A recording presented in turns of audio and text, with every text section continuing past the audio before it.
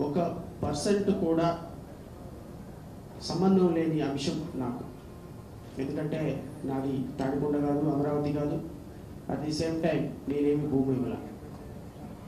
కానీ ఒక అంశం మాత్రం నన్ను చాలా కట్టిపడేసింది. ఏంటి అంటే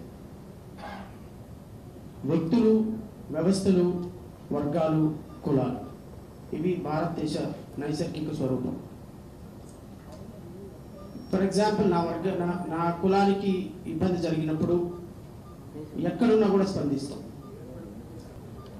లేకపోతే మన వాళ్ళకి ఎక్కడైనా ఇబ్బంది కలిగినప్పుడు అన్నకో తమ్ముడుకో ఎక్కడున్నా కూడా స్పందిస్తాం.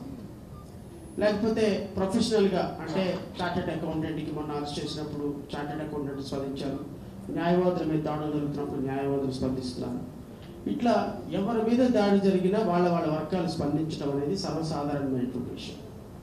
కానీ వర్గాల మీద కులాల మీద మతాల మీద ప్రాంతాల మీద మన వాళ్ళ మీద మనం దాడి జరిగినప్పుడు స్పందించడం ఒక ఎత్తు అయితే క్లాసెస్ అంటాం. అంటే ఈ సమాజంలో కొన్ని క్లాసులు ఉన్నాయి. చిన్నపిల్లలు వీళ్ళందరూ కూడా ఒక వర్గం. మహిళలు వీళ్ళందరూ ఒక వర్గం. మేధావులు వీళ్ళందరూ ఒక వర్గం. అట్ ది సేమ్ టైం రైతులు అనేవాళ్ళు కూడా ఈ దేశానికి అన్నం పెట్టే రైతులు అనేవాళ్ళు ఒక వర్గం. ఈ రైతుకి అన్యాయం జరిగినప్పుడు కులాలకి మతాలకి ప్రాంతాలకి అతీతంగా మనం కనుక స్పందించకపోతే మనకు అన్నం పెట్టే రైతు రేపు భవిష్యత్తులో కనపడడం అన్న విషయాన్ని మాత్రం అందరం గుర్తుపెట్టుకోవాలి. నైంటీ నైన్ పర్సెంట్ వ్యవసాయం ఎవరు చేయటం లేదు. ఎవరో ముప్పై నలభై శాతం మంది ఉన్నారు వాళ్ళు కూడా ఇంకా ఇరవై సంవత్సరాలు అంతరించిపోతారు. ఎందుకంటే అరెకరం చేసిన అరెకరం పొలం ఉన్న రైతు కొడుకు పది లక్షల రూపాయలు ఇచ్చేనా ఏదో ఒక అటెండర్ కప్పులు కడిగే ఉద్యోగానికి ఆయన ఇష్టపడుతున్నాడు కానీ ఏ తండ్రి వ్యవసాయం చేయడానికి తన కొడుకు ఇష్టపడటం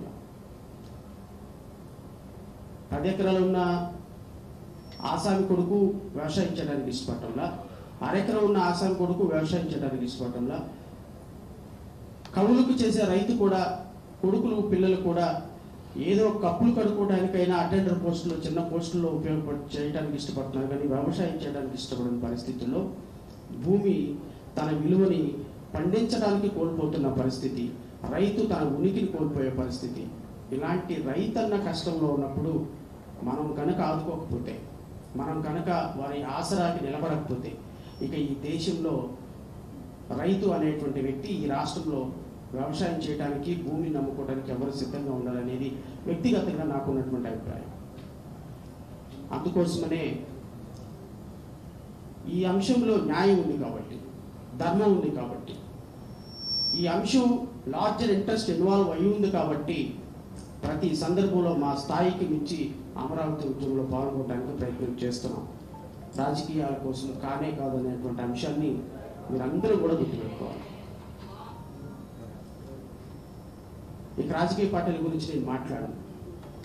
అమరావతికి అన్యాయం చేయడంలో రాజకీయ పార్టీలు పోటీ పడి ఈ రాష్ట్రాన్ని నాశనం చేసినాయి.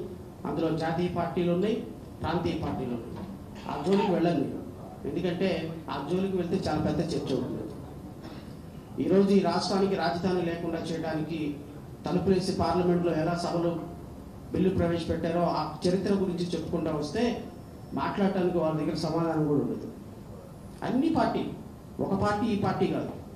కలిసి కట్టుగా రాష్ట్రాన్ని నాశనం చేయడంలో ప్రతి రాజకీయ పార్టీ తమకున్నటువంటి శక్తి సామర్థ్యాలు లేకుండా పనిచేసింది అన్నటువంటి అంశాన్ని మాత్రం ఇక్కడ స్పష్టంగా చెప్పాల్సిందే. అయితే ఇప్పుడున్న పరిస్థితుల్లో ఒకరినొకరు విమర్శ చేసుకోవటం కంటే ఒకళ్ళ మీద ఒకళ్ళు మీరు తప్పు చేశారు మీరు తప్పు చేశారు అనుకోవటం కంటే మీ వర్గం లీడ్ చేస్తుంది మా వర్గం లీడ్ చేస్తుంది కంటే మాలాగా ఏ విధమైనటువంటి అమరావతితో సంబంధం లేని వ్యక్తులే ఇంత కష్టపడి అరెస్ట్ అయ్యి నిన్న ఉదయం కప్పు కాఫీ తాగే నేను రాత్రి పదిన్నరకి ఇంటికి వచ్చి ఒక దోశ తిన్నా. మొత్తం నుంచి సాయంత్రం వరకు ఆమరణ నిరాహార జైల్లో ఒక న్యాయమూర్తిగా మొదటిసారిగా నేను జైలుకి వెళ్ళాను. కేవలం అమరావతి వచ్చుకోకూడదు నా లైఫ్లో నేను పోలీస్ స్టేషన్ ముఖం కూడా చూడలా. ఈ రోజు వరకు. నేను పది సంవత్సరాలు జడ్జిగా పనిచేసినప్పుడు కానీ న్యాయవాదిగా పనిచేసినప్పుడు కానీ ఈ రోజు వరకు పోలీస్ స్టేషన్ లోపల పరిసర ప్రాంతాలు ఎట్లుంటే నాకు తెలియదు. మొదటిసారిగా అమరావతి ఉద్యమం కోసం నేను పోలీస్ స్టేషన్లో కొత్త నుంచి సాయంత్రం వరకు కూర్చోడానికి కారణమైన ఈ ఉద్యమం ఎవరికో సంబంధం లేని మేమే ఇంత కష్టపడుతుంటే దీనికోసం భూమి కోసం గుట్టి కోసం మీ బిడ్డ లాంటి భూములు ఇచ్చినటువంటి మీరు ఇంకెంత కష్టపడాలండి? ఇంకెంత ప్రాణం పెట్టాలి? ఇంకెంత ఇన్వాల్వ్ అవ్వాలి? మీ బిడ్డ లాంటి భూములు తీసుకొని మీ మీద జులుం చలాయిస్తుంటే ఇంట్లో ఏసీ రూమ్లో కూర్చొని చికెన్లు మటన్లు వండుకొని తినటానిక ఉద్యమాలు ఉంది మీ భూముల కోసం మీరు పోరాడకపోతే మీ భూముల కోసం సంబంధం లేని మేము వచ్చి పోరాడుతుంటే సంబంధం ఉన్నటువంటి మీరు ఇక్కడికి వచ్చిన వాళ్ళని కాదు. ఐడియాలజికల్గా సపోర్ట్ చేస్తున్నాం అనుకున్నాడు ప్రతి ఒక్క రైతు అమరావతి రైతు రాజధానిలో ఉన్న ప్రతి ఒక్క రైతు రోడ్డు మీదకి రావాల్సిన సందర్భం ఉంది. కేవలం ఐడియాలజికల్గా సపోర్ట్ ఇస్తామంటే మాత్రం కుదరనే కుదరదు. వాళ్ళని చొక్కా పట్టుకొని ఉద్యమంలోకి రావాల్సిన రావాల్సిన బాధ్యత మీ అందరి మీద ఉందని అయితే కాదు. సంబంధం లేని మాలాంటి వ్యక్తులు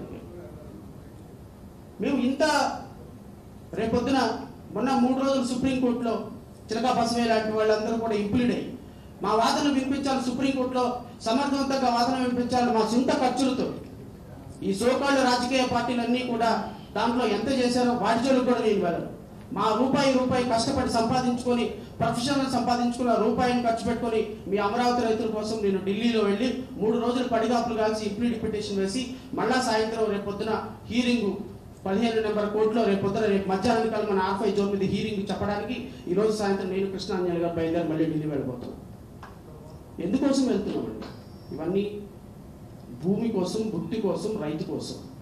ఇక్కడ రాజకీయాలకు అతీతం కానే కాదు. మేము రాజకీయాలు చేయాలంటే బొచ్చి బళ్ళ అంశాలు ఉన్నాయి రాజకీయాలు చేయడం నిన్న మూడు వందల మందిని నాలుగు వందల మందిని రెడీ చేసుకొని యాభై కార్లు రెడీ చేసుకొని రెండు వందల బైకులు రెడీ చేసుకొని పది లక్షల రూపాయలు ఖర్చు పెట్టి నా సొంత డబ్బులు మొత్తం రెడీ చేసుకుంటే మొత్తం భగ్నం చేసి పోలీస్ స్టేషన్లో పడేశారు. ఎవరు తిన్నట్టు ఆ డబ్బులు? అది సగం పోకున్నా మొత్తం అన్ని ఏర్పాట్లు చేసుకున్నా నా సొంత డబ్బులతోటి. ఇంత కష్టం పెడుతుంటే మేము దీన్ని రాజకీయాలకు ముడిపెట్టడం అనేది ఎంతవరకు కనెక్టివిటీ ఉంటుంది?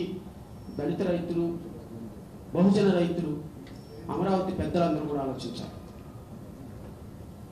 ఏ రాజకీయ పక్షం కూడా మనస్ఫూర్తిగా పోరాడే పరిస్థితి ఉండదు. ఎందుకంటే పేదవాడి భుజం మీద తుపాకీ పెట్టి అమరావతిలో భూములకి రైతులకి పేదవాళ్ళకి భూములు ఇస్తున్నాము అన్న అంశాన్ని చాలా అద్భుతంగా ప్రొజెక్ట్ చేసి జగన్మోహన్ రెడ్డి. ఆ పేదవాడి భుజం మీద తుపాకీ పెట్టి అమరావతిని కాల్చాలనే ప్రయత్నం చేస్తున్న సందర్భంలో రాజకీయ పార్టీలన్నీ కూడా డిఫెన్స్లో పడిపోయాయి. పేదవాడికి భూములు ఇస్తుంటే రాజకీయ పార్టీలు అడ్డుకుంటాయేమో అని నమ్మ నర్మగర్భంగా మాట్లాడటం అనేది కనబడుతుంది. అఫ్ కోర్స్ అది జగన్మోహన్ రెడ్డి గారి స్ట్రాటజీ కానీ నేను మీ ద్వారా రాష్ట్ర ప్రజలకి ముఖ్యమంత్రికి వైఎస్ఆర్సీపీ కార్యకర్తలకి వైఎస్ఆర్సీపీ నాయకులు కూడా చెప్పదలుచుకున్నాను.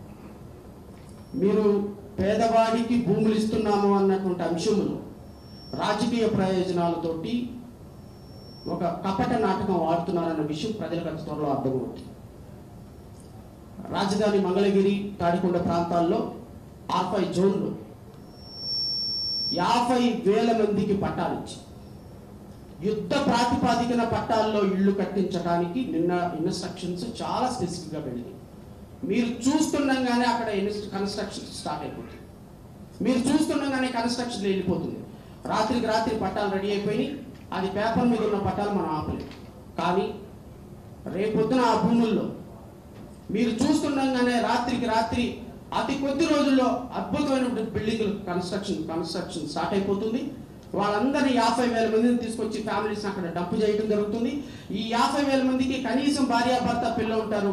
లేకపోతే అట్లీస్ట్ లక్ష ఇరవై వేలు నుంచి లక్ష యాభై వేల ఓట్లు రాజధాని ప్రాంతంలో జగన్మోహన్ రెడ్డి గారికి క్రియేట్ చేసుకోవాలనేటువంటి ఒక దుష్ట పన్నాకు ఈ లక్ష యాభై వేల ఓట్లు రేపు మంగళగిరిలో తాడికొండలో తనకి ఓటు బ్యాంకుగా క్రియేట్ చేసి రేపు గెలవాలి అనేటువంటి రాజకీయ ప్రయోజనాలతో ఈరోజు పేదవాడు భుజం మీద తుపాకి పెట్టి కాల్చాలని జగన్మోహన్ రెడ్డి ప్రయత్నాన్ని కొనసాగిస్తే కొనసాగించటానికి గనక మీరు ప్రయత్నం చేస్తే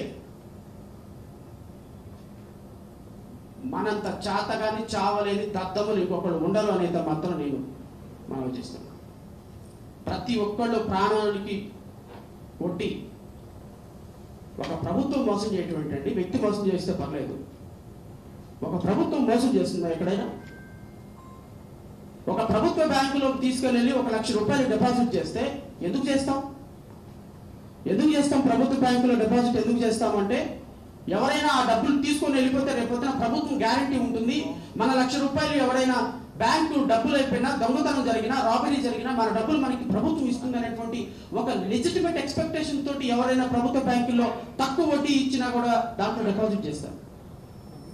అలాంటి ప్రభుత్వ బ్యాంకుల్లో డిపాజిట్ చేసినటువంటి డబ్బుకే వాల్యూ లేకపోతే ఈ రోజున ప్రభుత్వానికి భూములు ఇచ్చినటువంటి భూములకే వాల్యూ లేకపోతే మీ భూములు మీరు తీసుకెళ్ళిపోండి అని చెప్పడానికి అవకాశం లేకుండా ఈ రోజు వ్యవసాయం చేసుకోకుండా దాంట్లో కవులు రూపాయి అర్ధ రూపాయి కవులు కూడా ఇవ్వకుండా ఈ రోజు కొత్త భూముల్ని మీకున్నటువంటి భూముల్లో డెవలప్మెంట్ అగ్రిమెంట్ మీకు ప్రభుత్వంతో ఉన్నప్పుడు అది చేయకుండా ఆ భూముల మొత్తాన్ని వేరే వాళ్ళకి ఇస్తే అసలు మన భూమిలో వేరే వాళ్ళకి ఇవ్వాలి వేరే ప్రాంత ప్రజలకి ప్రాంత ఇక్కడ అంశాలు ప్రాంతం కాదు మన భూమి అనేది ఇంపార్టెంట్ మన భూమిలో మన హై మన రైట్స్ క్రియేట్ అవ్వకుండా మన డెవలప్మెంట్ అగ్రిమెంట్లో భాగంగా మన రాజధాని డెవలప్ కాకుండా ఈ భూముల్ని దారాదత్తం చేస్తాను రాజకీయ ప్రయోజనాలతోటి ఓటు బ్యాంకు క్రియేట్ చేసుకోవడానికి దారాదత్తం చేస్తామంటే చూస్తూ మనం రౌండ్ టేబుల్ మీటింగ్లు పెట్టుకుంటా కాముగా డెలిబరేషన్స్ తోటి మాట్లాడుకుంటా ఉంటామా? Is it called democracy is it called government ఇలాంటి గవర్నమెంట్ చొక్కా పట్టుకొని రోడ్డు మీదకి ఈడ్చాల్సిందే ఓటు బ్యాంకు చూసుకొని రెచ్చిపోతున్నటువంటి ప్రజలకి మరి ముఖ్యంగా నేను చాలా ఓపెన్గా మాట్లాడుతున్నా.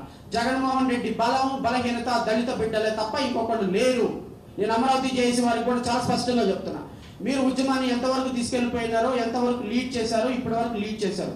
దయచేసి జగన్మోహన్ రెడ్డి గారి స్ట్రాటజీ దళిత బిడ్డల్ని భుజాల మీద తుపాకీ పెట్టి పేల్చాలనుకుంటున్న సందర్భంలో ఉద్యమంలో మీరు దళిత బిడ్డలకి ప్రాధాన్యత ఇవ్వాల్సిందే.